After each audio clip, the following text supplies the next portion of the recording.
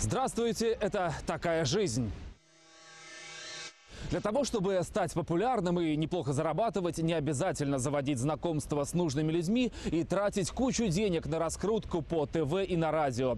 Достаточно доступа в интернет. Простые люди становятся популярными сначала в сети, а потом уже в реальной жизни. Так таджик-гастарбайтер стал звездой в московских клубах. Света из Иванова получила свою программу на федеральном телеканале. Более яркие примеры – Вася Обломов, Петр Налич. Некоторые становятся знаменитыми случайно. Кто-то специально разрабатывает план действия в сети, лишь бы засветиться. И с теми, и с другими встретился наш корреспондент Денис Сопов.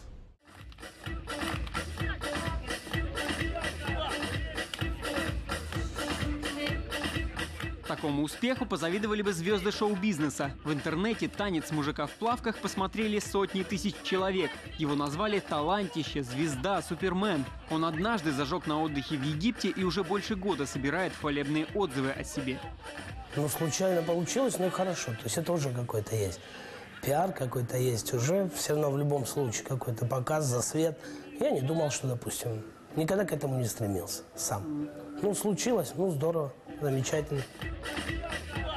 В прошлом году новороссиец Дмитрий Калинин отдыхал в Египте, и пока жена с ребенком прятались от солнца, глава семьи решил немного размяться. В итоге на его танец у бассейна вышли посмотреть чуть ли не все жители отеля. Ну, аплодировали все там. Все стоят. Вся, весь народ, который собрался, все аплодировали, кричали «Браво!» Молодец, да. Женщины там летели в самолете обратно, две женщины, а я как раз рядом. Они говорят, ну, мы, конечно, поняли, что не обязательно 10 дней отдыхать. В Египте достаточно одного дня, если есть такое шоу, такие люди, которые могут это сделать. Уже дома Дмитрий обнаружил, что кто-то выложил его танец в сеть, и слава новороссийского артиста возросла до всемирного масштаба. Нынче танцы мужчин с округлыми формами в тренде, и чтобы не отставать от модного веяния, я решил поучиться этому непростому ремеслу. Чем проще движение, тем легче их запоминать, да? Правая нога вперед, точка назад, точка. Оказалось, подобные уроки Дмитрий проводит уже много лет. Он преподаватель в местном дворце творчества. Да и яркие выступления перед публикой для него привычное дело. В Новороссийске он проводит торжества и известен в городе как мастер пародий. Образы в основном женские.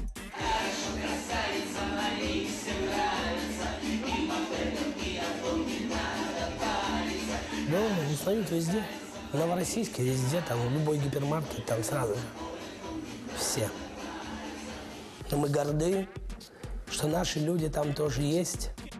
Это самое «там» не о Ютубе. Со временем популярный ролик из интернета перекочевал в эфир Первого канала и завоевал внимание и любовь пока еще широкой телеаудитории.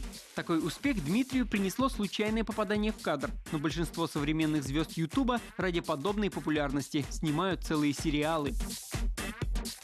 Иван Палыч, Юрий Палыч, Сергей Юрьевич. И все это мы поймали на одного червячка. Аплодисменты! Предприниматель Сергей Юрьевич уже много лет выкладывает в сеть несерьезные ролики из жизни. В Ютубе он известен под именем Сюв Краснодарский. Компания СЮФ. Мы очень любим русскую баню. Рассказы о рыбалке, разыгранные по ролям анекдоты и советы – визитная карточка Сергея Федорченко. Некоторые его ролики набирают сотни тысяч просмотров, причем иногда успешными становятся самые странные темы. У меня же либо анекдот, либо совет, да? То есть, э, если вы, например, не умеете ковыряться в носу, я вас научу. Это, кстати, социальная программа. Уметь ковыряться в носу. Потому что если вы не умеете ковыряться в носу, вы просто задохнетесь нахрен. А если я вас научу, то вы останетесь живы. Поэтому юмор, кулинария и практические советы – это на самом деле социальные программы, которыми должно заниматься государство. Но так как государство не занимается, занимаюсь я. Съемочная площадка нового ролика Сюфа в его машине. Как правило, он придумывает идею нового сюжета. Остальное – чистая импровизация. Сегодня идея кино какая? А сегодня идея кино – чем заняться в пробках. У нас вся жизнь проходит в пробках утром, вечером, днем. Поэтому я сегодня расскажу о том, чем можно заняться в пробках, в краснодарских пробках. Для создания очередного шедевра нужна лишь маленькая камера и мобильный телефон. Остальное зависит от таланта автора. Сегодня совет Сюфа простой. Чтобы не скучать в пробках, нужно петь. Вот видите, я начал петь в пробках, и пробки разошлись нафиг. Все. Отлично. У леса на опушке. И тогда я включаю первую скорость и говорю ему. А, э, та, жила зима в избушке. Я убью тебя, лодочник! Свадьба, свадьба, свадьба пела. Я замочу тебя, лодочник! После нескольких песен пробка и правда разошлась. То ли совпадение, то ли действительно сработал совет опытного Юрича.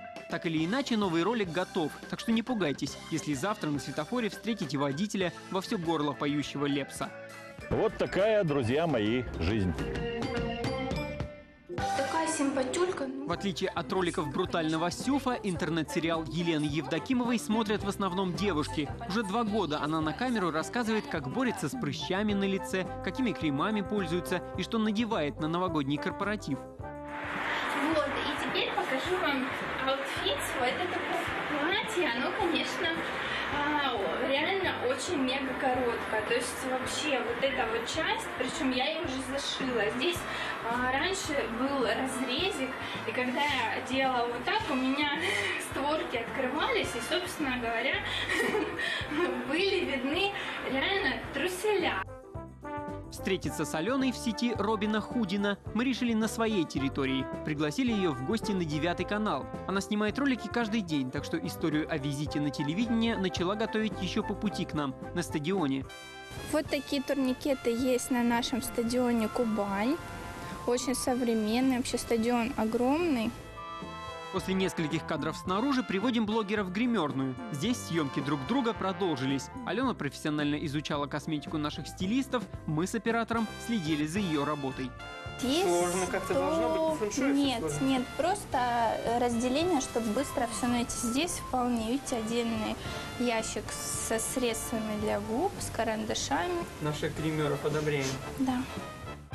Ролики Алены в интернете посмотрели больше 5 миллионов человек. Только постоянных зрителей около 30 тысяч. Есть поклонники и недоброжелатели. Постоянно, что пишут э, плохие комментарии. Причем не всегда это просто язвительные, частенько это откровенные негативщики, у которых плохое настроение, и они могут проклять тебя до седьмого колена, проклять детей, не родившихся или там, в общем.